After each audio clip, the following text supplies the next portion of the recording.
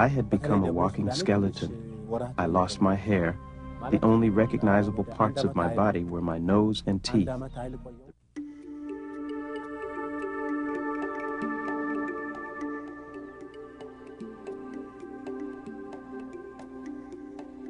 As a little boy, Muhammad Amin grew up in the Jimma province of Ethiopia. His father was a local farmer. Muhammad looked after the cows and goats. His mother had been barren for years. She had made a vow to God that if he would bless her with a son, he would become his servant all the days of his life. So when he was born, his parents decided that he would not go to a regular school. Instead, he would study the Quran and become an imam. As a teenager, he obtained a scholarship to study in Saudi Arabia.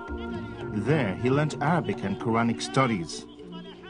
In spite of his devotion, though, Muhammad says one thing always troubled him.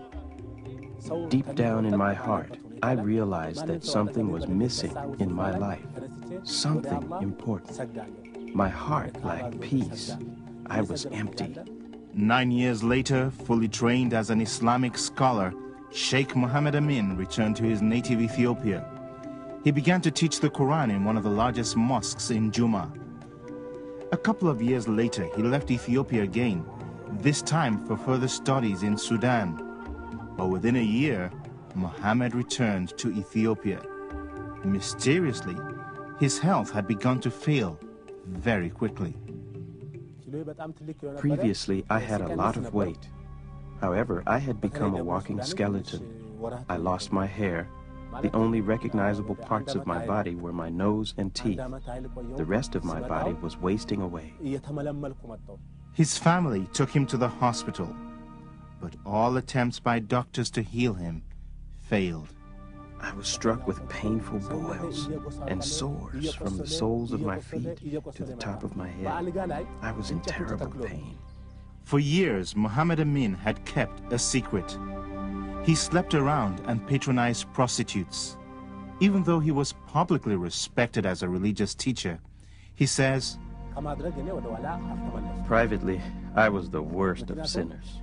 As Sheikh Mohammed lay dying of AIDS in the hospital, his family began preparing for his funeral. As far as they and the doctors were concerned, he had only a little time to live. But it was at that point that something miraculous happened. Late one night, I had a vision. The hospital room glowed with a bright light. Jesus, dressed as a doctor, came into my room and stood by my bed. He looked at me with love and affection and said, Mohammed, rise up. Being a Muslim, I was confused. I began to say to myself, how can I get up when there's no strength in me? But Jesus seemed to know what I was thinking. He came closer and began to touch my sick body, took my hand and sat on my bed.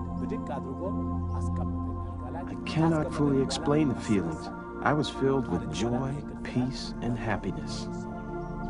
At that point, Muhammad says he believed he was healed. More importantly, he no longer believes Jesus is just a prophet. Instead, he says, Now, I believe Jesus is the Son of God. I have also decided to follow him.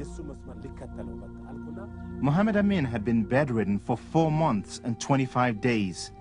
He says barely a week after Jesus appeared to him, he began to walk again. But that is not all. Previous AIDS tests had shown that he had full-blown AIDS. Amazingly, new tests now show that Muhammad is no longer HIV positive. Miraculously, Sheikh Muhammad Amin has been healed of AIDS.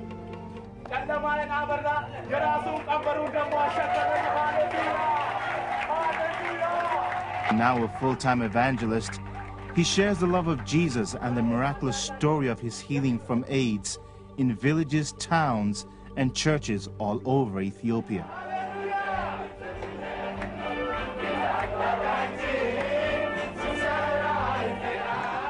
If Jesus had not come to my bed in that hospital and touched my body and my soul, first, I would have lost everlasting life. Secondly, I would have suffered for eternity. But he gave me physical healing, everlasting life, and peace that passes all understanding.